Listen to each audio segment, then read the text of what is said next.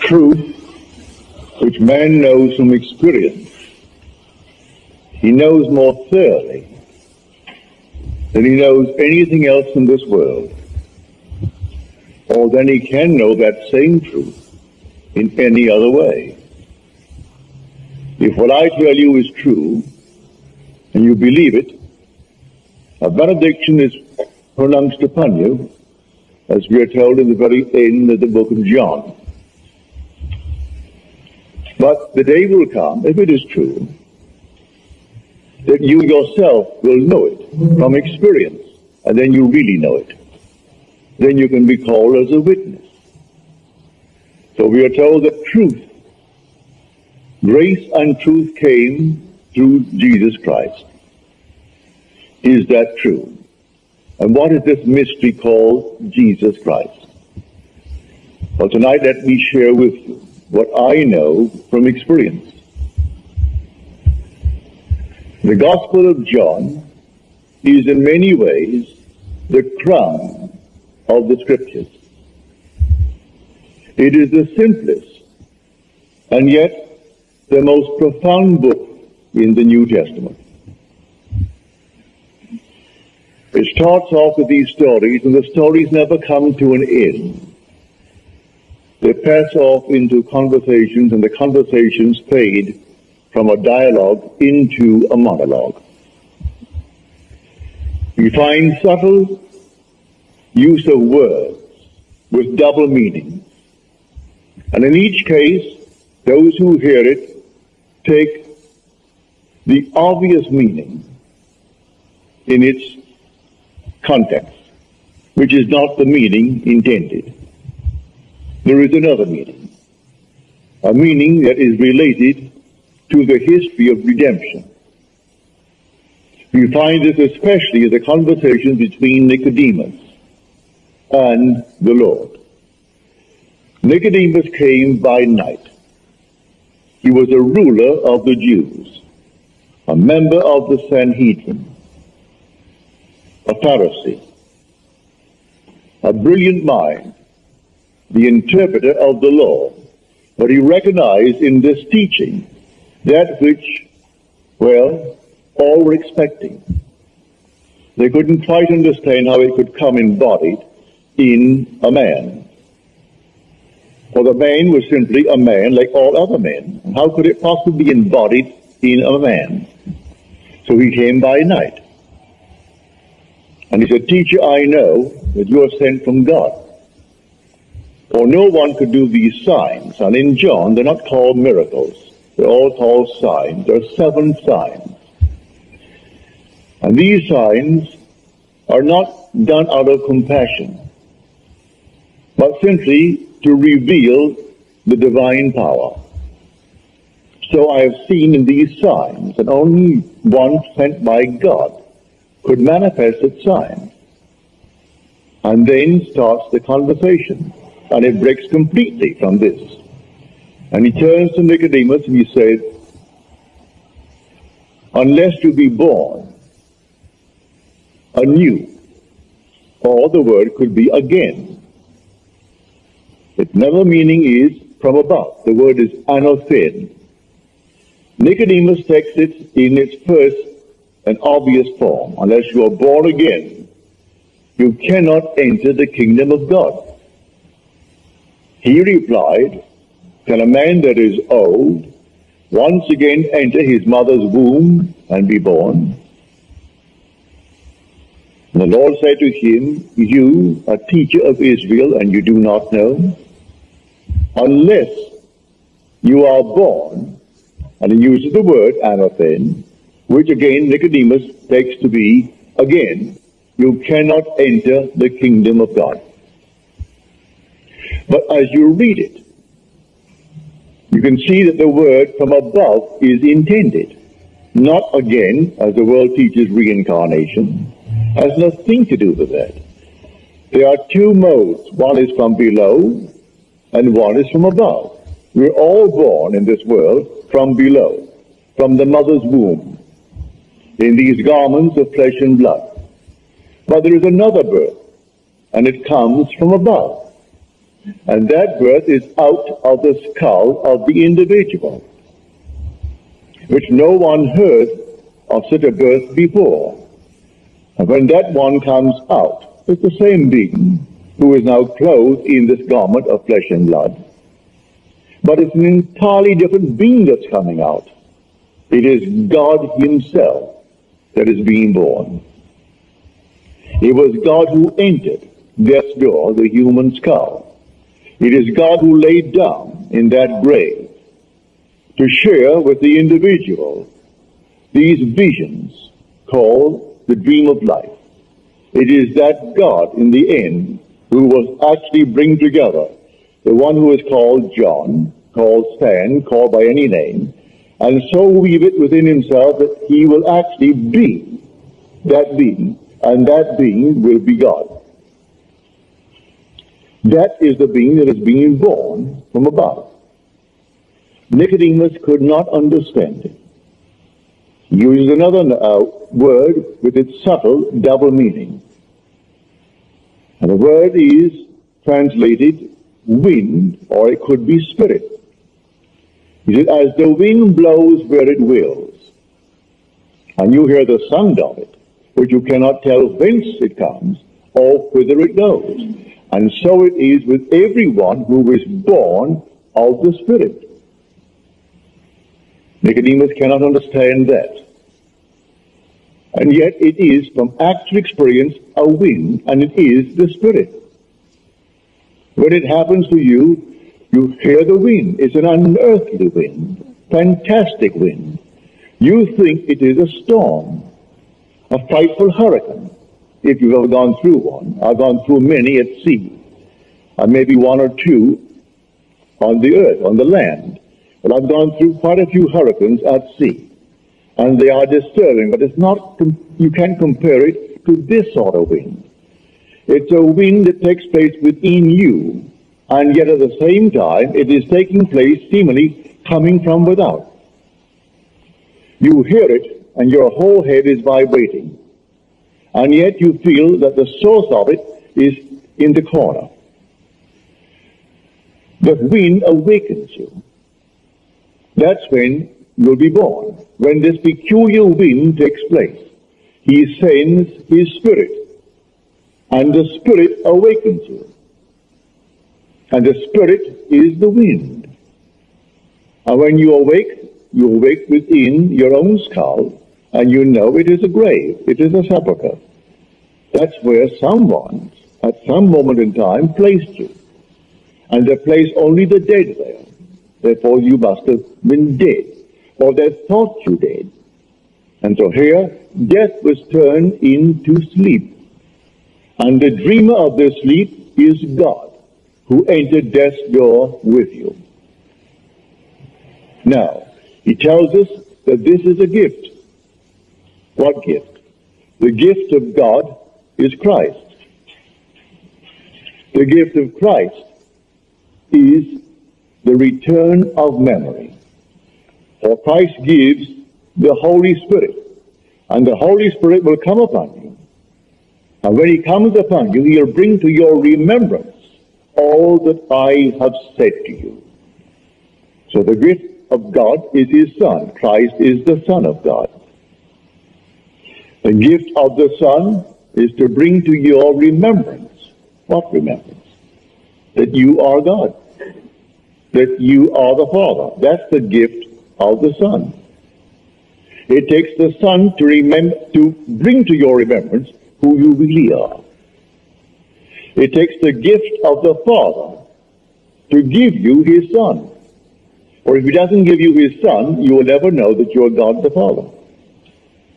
So the conversation goes on, and these are subtle double meanings between the use of the word. The obvious meaning, well, we always take that first, and that's not what is intended. Now he tells us, the Son of Man, and here every scholar misinterprets it.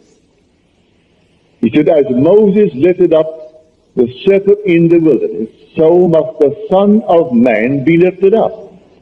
And they said, that's now he is foreshadowing the nature of his death on the cross. There is no statement in the five books of Moses that it was a cross on which the serpent was nailed. He was lifted up, a fiery serpent lifted up on a rod, a single rod. The obvious meaning is, all right, that's how he's going to die, on a cross. I tell you from experience, that's not what it means. It's actually being lifted up, a fiery serpent, and you are that fiery serpent. Lifted up on the cross of your own spine. And lifted up where? Listen to the words. As Moses lifted up the serpent in the wilderness, so must the Son of Man be lifted up. On a cross? No. On the rod. Well, lifted up where? Lifted up into heaven. For no one can ascend into heaven but he who first descends from heaven, the Son of Man. So the Son of Man descended from heaven. And only the Son of Man can ascend into heaven. But who is the Son of Man? The question is asked, who is the Son of Man? It mentions all kinds of names, John the Baptist, Elijah, Jeremiah, some other prophet. But who do you say that I am? He equates the Son of Man with I am. And when you are lifted up, who is lifted up? I am. And you go up like some fiery serpent into your own wonderful skull, and it vibrates like thunder.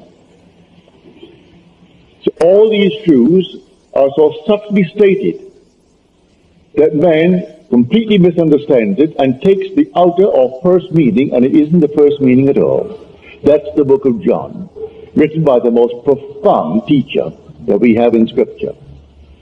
If you mention another one, yes, you could mention Paul and the unnamed one who wrote the Epistle to the Hebrews. These are the three giants in the New Testament. They're the ones who experienced it and then told it in their own wonderful way. But John is so poetically told. Every verse is like poetry when you read it. And having had the experience, you stand amazed that someone could tell it so beautifully as the unknown author called John wrote it. That grace and truth came through Jesus Christ. Grace is love in action. And John said, God is love. So it's God in action. And grace is an unmerited, unearned gift. If you had earned it, it would be your wages. It could not then be a gift. It's a gift. An unearned gift. And what is the gift? He gave his only son. He gave me his only son to bring to my remembrance the being who I am. For I'm God. You're God. Everyone is God but not until the gift comes. Now, in Scripture, we read, He who has seen me has seen the Father. This is all in John. The word to see and to know are the same word in Greek. So he who has seen me knows the Father. If you do not see me, you do not know the Father. But if you encounter me, you cannot help but know the Father. So you've been with me so long, Philip, and you do not know the Father? He who has seen me has seen the Father. If you see me, you instantly know the Father, for you're going to see your own Son. And he is the Son of God the Father. And the minute you see him, you know he's your Son. And that was God's gift to you. He gave himself to you. That is the purpose of Scripture, to reveal to man God's infinite gift, which is himself. But he can't persuade you that he actually has become you unless his son appears, whose son is your son. So he gave his only begotten son, that you may know his gift to you. For he gave you his son, but in giving you his son, not as a companion, but as your son, then you are God the Father. There is no other way in eternity that you will ever know that you are God unless his son appears. And that son is David. Yes, the sweet psalmist, the great David of Scripture. That is the Son of God. He is the Christ. And so God gives you his Son that you may know you are God. So the gift is only to reveal to you who you really are. That's why I say it is the crown of the Scriptures. It is the most profound book in the Scriptures, and yet so simply told. But the subtle use of a word with double meanings. And it's always misunderstood. The wisest of men, the Sanhedrin, they were considered the wisest men of Israel. They were the rulers of Israel. They were the great Pharisees. They knew the law backwards.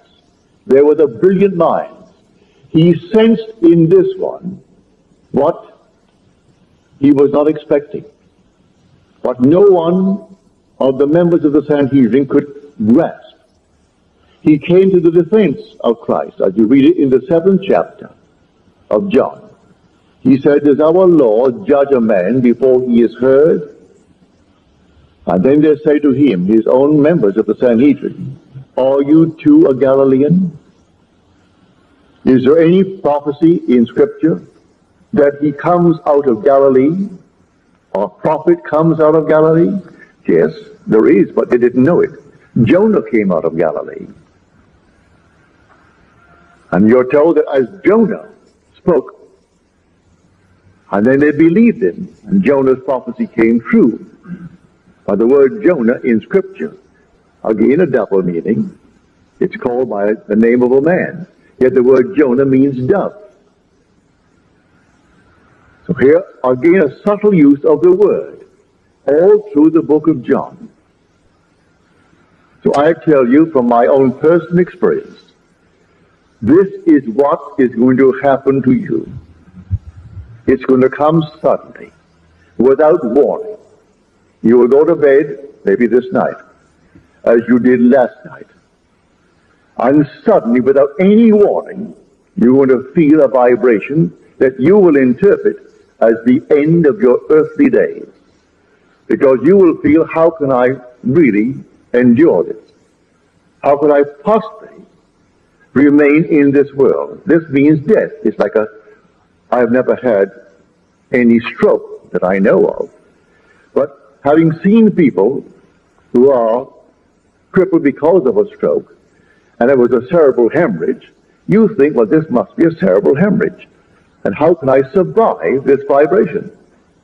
But instead of dying as you think you are going to die, you don't die. You wake. And you wake as you have never awakened before. There's a clarity of mind that you've never known before, only to find yourself in a grave, in a sepulchre. And the sepulchre is your own skull. And you're all alone. Not only all alone, you're sealed. The skull is completely sealed. No, there aren't any two eyes where you can look through. No ears, no nostrils, no mouth. It's a completely sealed tomb. Yet you know it is your skull. And you have an innate wisdom what to do. And so you act upon that impulse. And you push the base of your skull. After you wake, you stand up in your skull. The same being, fully grown, you're matured. And you know who you are and you push the base of the skull, and something gives, as told you in John, and the stone was rolled away. And he who was on the inside now comes out. Now, in John, not in the Synoptic Gospels, in John alone, the birth again is told in a symbolic form. Matthew and Luke tells of a birth of a child. John doesn't mention the birth, but he tells it for those who have eyes to see or who have experienced it. So when they came into the tomb and found it empty, they found the linen clothes. Then they found the napkin removed from the linen clothes, the napkin that had covered his head. And here it was removed from the linen clothes. The linen clothes symbolizes the body. This is the linen clothes. Removed from the body, but it was covering his head, is the napkin. Well, the ancient word napkin, which we translate napkin, meant more than simply what you and I use today when you speak of a napkin. A dinner napkin, a cocktail napkin, or a sanitary napkin.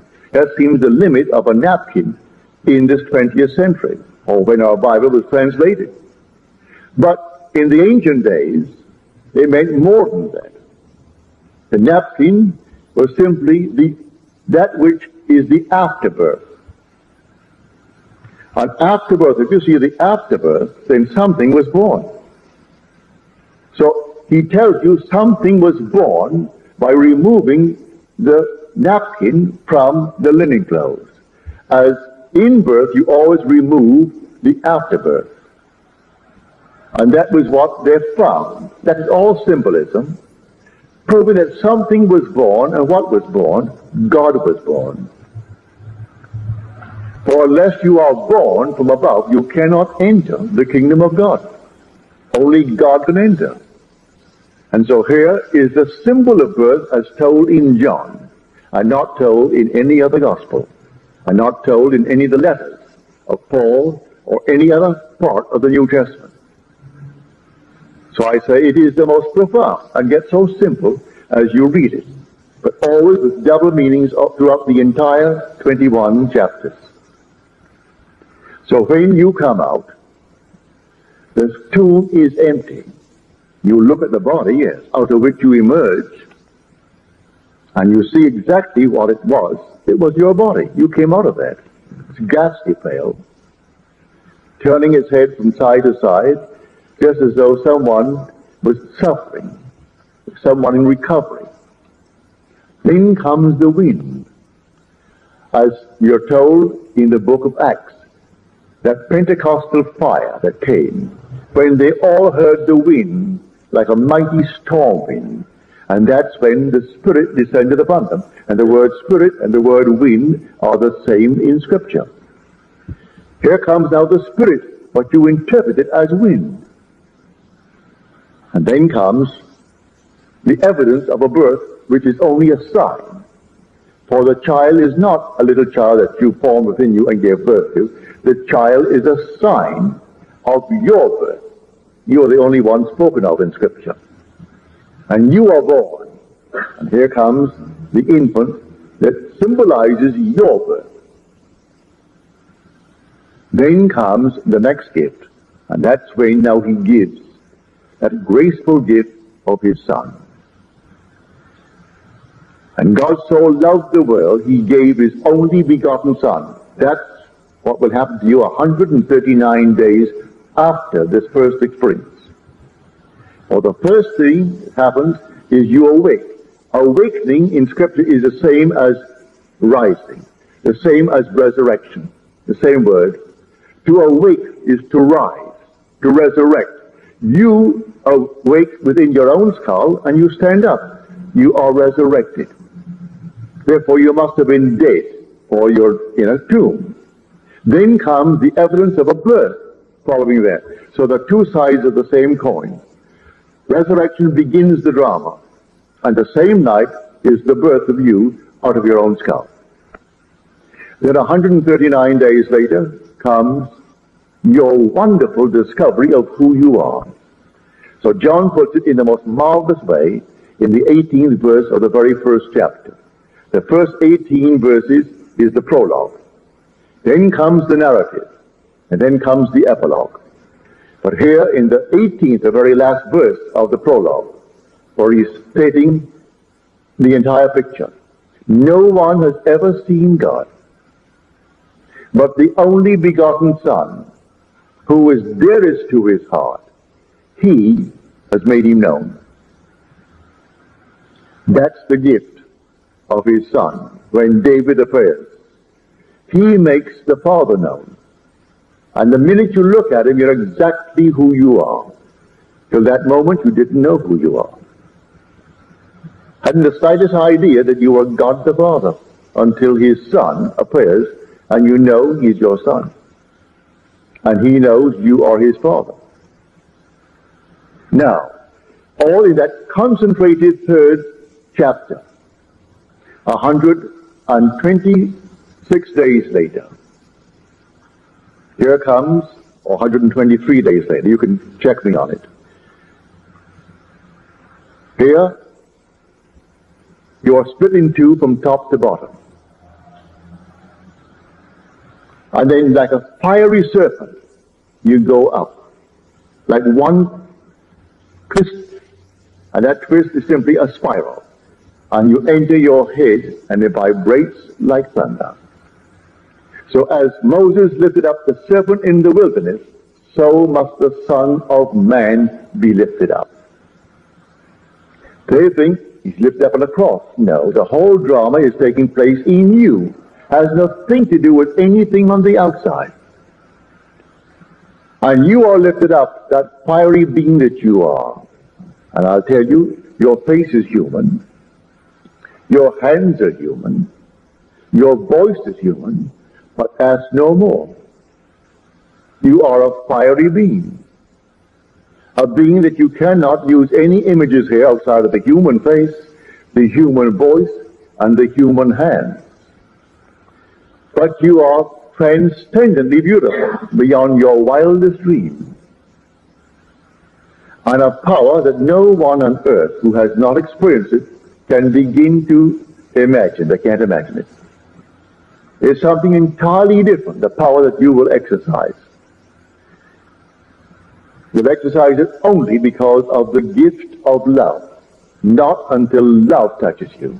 Because with this power, without the guidance of love, you could wreck the world. You will not wreck the world. You will exercise it only in love. It's a fantastic power that you will possess.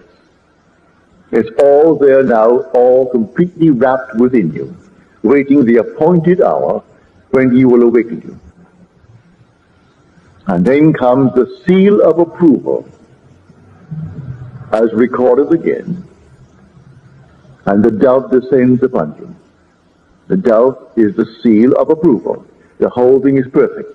You are as perfect now as your father is perfect because you become your father. A man matures when he becomes his own father. And so you actually become God the Father. And the seal of approval is the descent of the dove upon you to smother you with love. And then the drama, as far as that section goes, that section is over. So when you read the book of John, you find all these double meanings unless you eat my body, my flesh, and drink my blood, you have no life in you. He tells you, you search the scriptures, because you think in them you have life. And yet they're all about me. They bear witness to me. Yet you will not come to me that you may have life. Now in the fourth verse of the first chapter, it is simply stated, in him was life. What is his mission in the world? To give life. You do not have life until it is given. You're an animated soul, but not a life-giving spirit, not as yet. So in him was life, and the purpose of his mission is to give life. So he said, unless you eat my flesh and drink my blood, you have no life in you you absorb, you assimilate his body, which is Scripture. For you search the Scriptures as something external to yourself. And I tell you, absorb them, because you are going to experience Scripture. Everything in that entire book you are going to fulfill. And the whole thing is going to unfold within you, casting you in the central star character. And when the whole thing unfolds within you, you've assimilated it. And this is the truth of which I speak. The truth that a man knows from experience, he knows more thoroughly than he knows any other thing in this world, or than he can know that same truth in any other way. I can tell you in the hope that you believe me. But the day you experience it, You have confirmation of it. And you are a witness in your own right. Although a benediction is pronounced upon you, if you can hear it without experiencing it and still believe it, but the majority will not believe it. Only one of the Sanhedrin believed it, Nicodemus, which means victor of the people. He was victorious. He believed it without having experienced it. The others condemned because they were looking for it in the letter. And here comes one who brought life. He made the letter become alive. The entire scripture became a living thing within him because he experienced scripture. And then he talked about it and told it. But no one put him on any cross.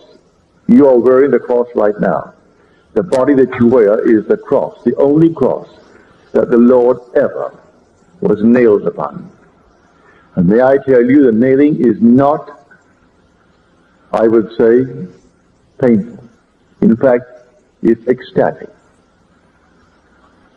These hands, my feet, my head, and my right side are nailed with vortices.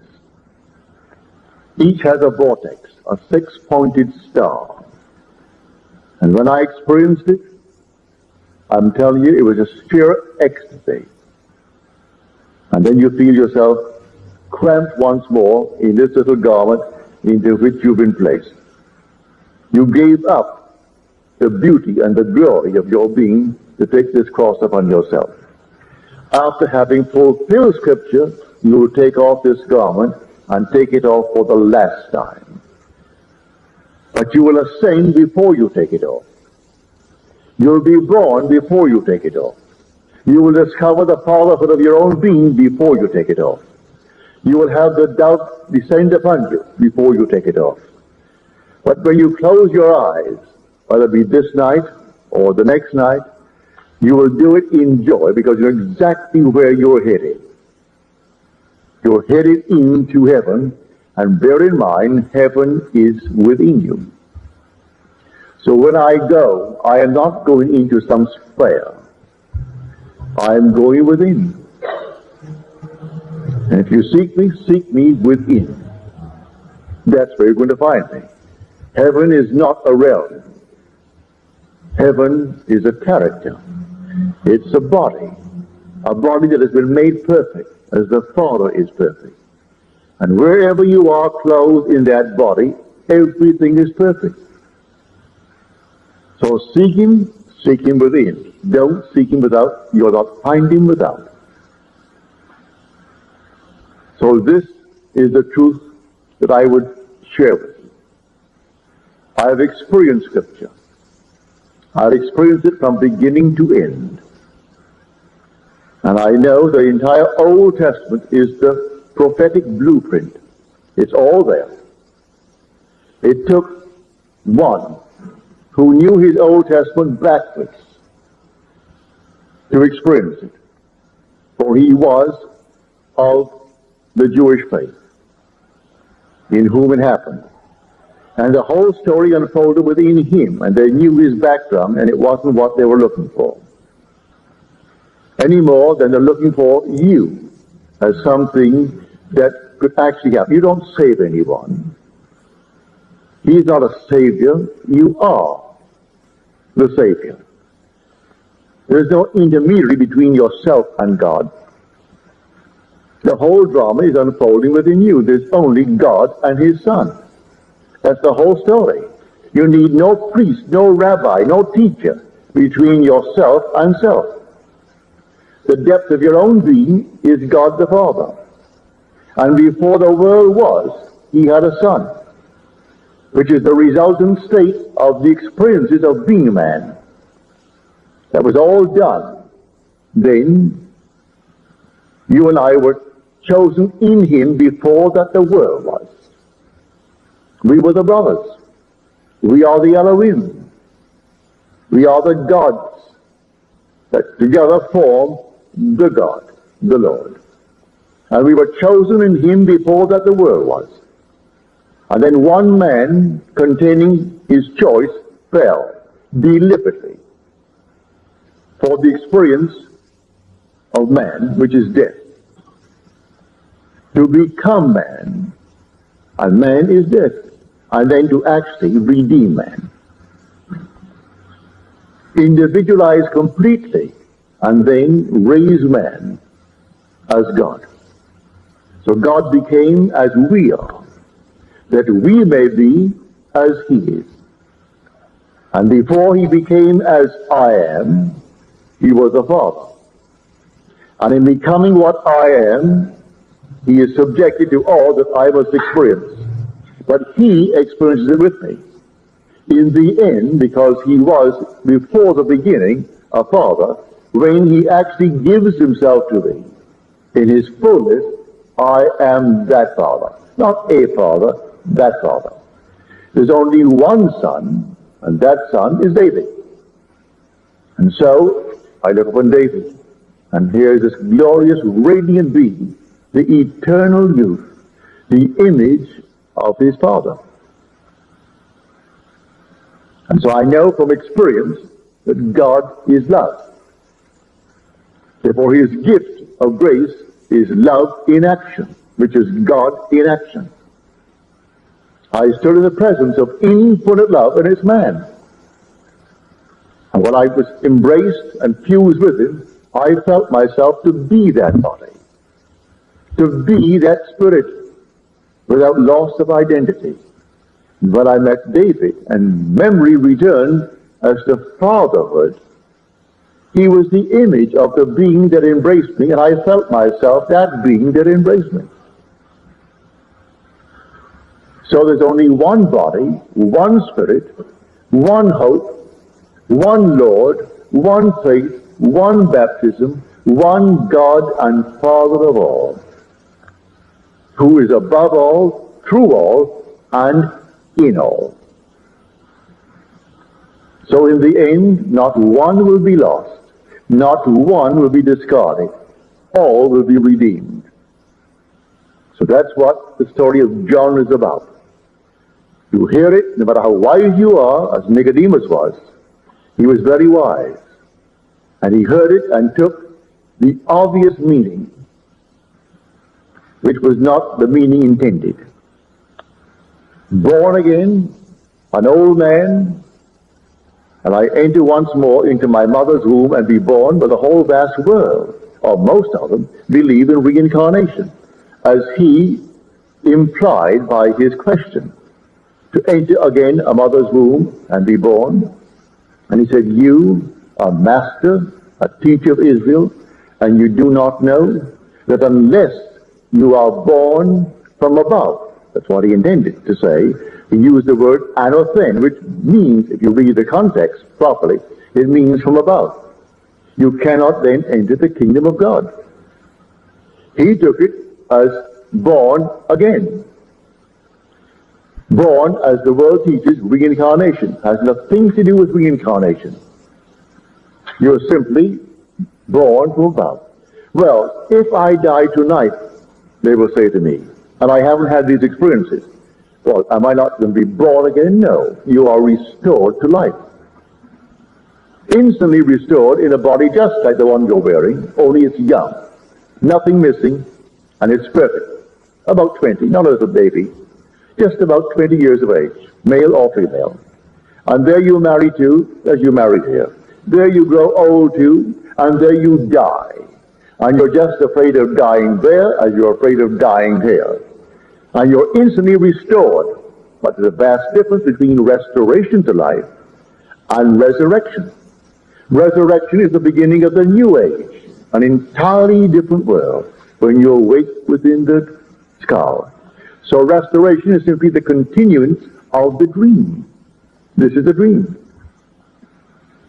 You're dreaming what you are. You'll dream yourself into your present situation, and you'll dream yourself out of it.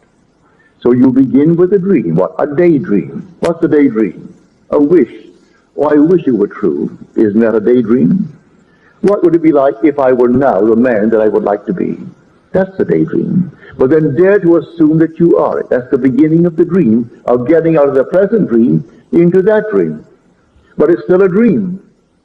And the day will come, you have this experience that, that I'm speaking about, where you awaken from the dream.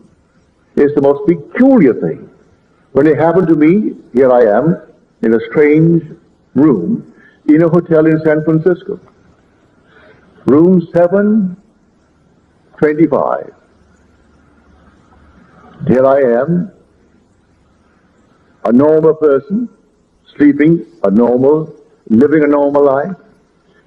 Went to bed in the same normal manner that I've done year after year, night after night, to find myself waking. I thought I'm going to awake, if I do awake, as I've always done, and I didn't.